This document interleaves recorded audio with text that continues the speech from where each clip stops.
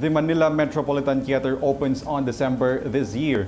The National Commission for Culture and Arts announces it was after more than 25 years of being closed. The MET was reconstructed and will be open soon.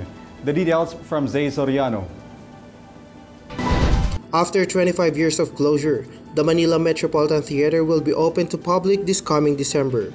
The theater was reconstructed after it was bought by the National Commission for Culture and the Arts to the government in 2015.